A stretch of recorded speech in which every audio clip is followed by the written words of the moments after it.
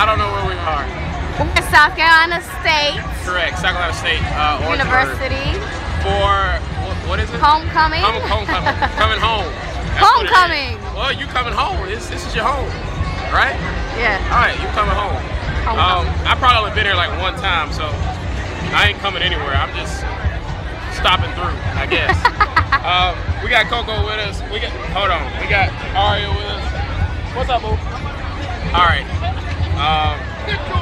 This video gonna be full of edits. That's really all we got, and we'll talk every now and then when we can. Hey, who is that guy? Gunner? Wait, who? Gunner? Who is this guy? He's in the building. Damn. Can't be showing no Pepsi. Pepsi ain't getting us no subscribers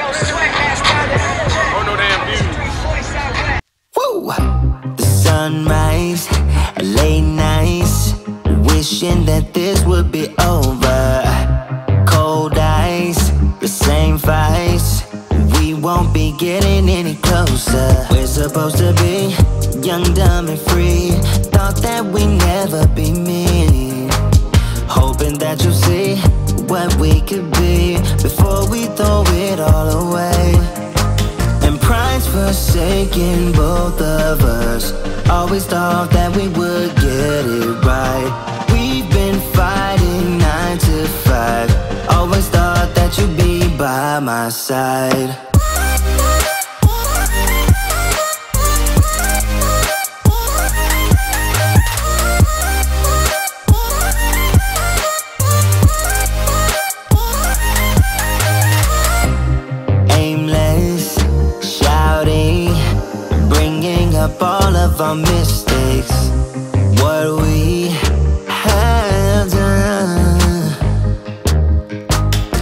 Supposed to be young, dumb, and free. Thought that we never be me. Hoping that you see what we could be before we throw it all away. And pride's forsaken both of us. Always thought that we would. So, welcome to today's video. As you can see, this is a new addition that somebody's about to get surprised with. Um, it's something that we've discussed.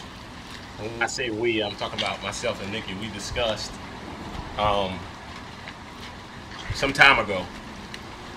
You know, she expressed interest in having a motorcycle. I previously owned a motorcycle, so I was like, nah, I don't think we should do that. I think, uh, you know, you should just get a sports car and we go that route. She's like, nah, I want to get a bike regardless if you buy it or not. So you might as well just uh, stop talking about it because I want to get a bike regardless. And I said, well, I don't think you should. So I try to discourage her by uh, showing her pictures of my bike, my old bike, which I'm actually about to give away. Um, but I tried to discourage her by showing her pictures of that. Like, listen, this is what can happen. You know, everybody thinks, you know, you get you get a motorcycle. I want to be so careful. I'm not going to wreck this, that, and the third.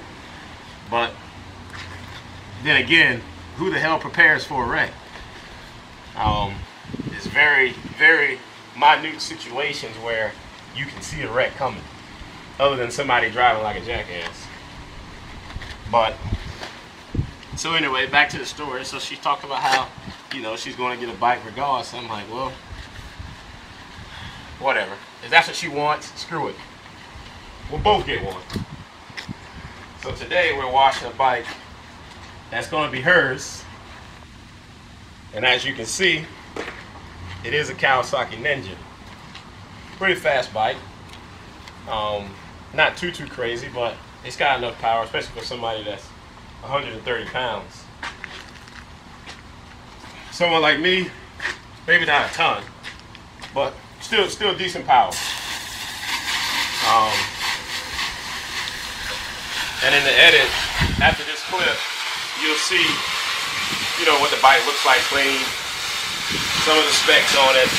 It's got a um, digital speedometer, so you're not going to be able to see how fast the bike goes. I know that's like the common question, you know, how fast does the bike go? Or what's the top speed of the bike?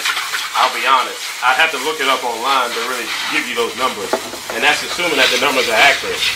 Because um, like I said, the bike has a digital screen, digital speedometer. The only thing that's analog on this tool is the uh, RPM gauge. But I can tell you that it maxes out the rev at, uh, I think it's 13,000? Yeah, 13,000. But you start redlining right at 10,000. So you can guess from there the type of where the where the power band is going to be. I've driven it a couple times. Um, oh wow, this thing has a uh, it has like a little. I didn't even notice this. Come look at this. So it has like a little, I guess like a pre-cut ring here, where you could put like a I think they're like 12 volt um, cigarette lighter. So I guess if she wanted to put lights on this bike, she should be able to use that section to uh, mount something in there for that. I'm pretty sure. Pretty sure that's what that that's what that's for. I didn't know the bike came with that though. Um, but if you're not familiar with bikes, 650 is probably like your mid-range bike most bikes they have 250s. That's usually where they start out. Um, a lot of them are moving to like 300s now. That's where they're starting, but 250s usually starter. You got 300, and uh, just keep doing the math, and you'll see that you know 1400 cc is, is the biggest that I've seen on a, on a sports bike. I'm sure some other bikes may have bigger uh, engine size than that but you can't really get too bogged down into the uh, the size of the engine. It's more so the performance. I used to have a 2004 Kawasaki Ninja uh, ZX6R, and if I had to guess, if I had to guess, that ZX6R would probably beat this bike. Only because the 6R just like any other Kawasaki. Like if you get like a Kawasaki 1000, Kawasaki 1000 is not going to beat a ZX10 10R or, or a ZX10RR. It's not going to beat it. Even though they have the same size engine, the bike's not tuned for racing. The bike's more so for touring. So it just doesn't have enough enough power to keep up and a lot of times even even the horsepower numbers are are completely different. Um, the ZX10R, or actually let's go back to the the 636 versus this 650. I think it's like 100 horsepower difference. No, I mean not not 100, about 50 horsepower difference between the bike. And you know, for a car that's not much, but a motorcycle, 50 horsepower, you're gonna see a difference that bike's gonna respond differently. Your power band's gonna kick in a whole lot sooner. If you're not responsible, try to take off, that front end's gonna lean up. So Nikki doesn't have a whole lot of riding experience. She's got a little bit, but she's gonna learn today. not really today, but you know that little saying, you're gonna learn today. So she's gonna learn. Because at this point, this bike ain't going back. So she's either gonna get with the program and uh, show me that she was as serious as she claimed to be at the beginning, well, we're going to have a damn problem. I'll be honest with you.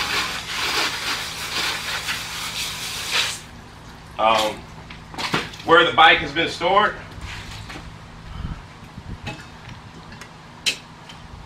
not anywhere where she would know where it is.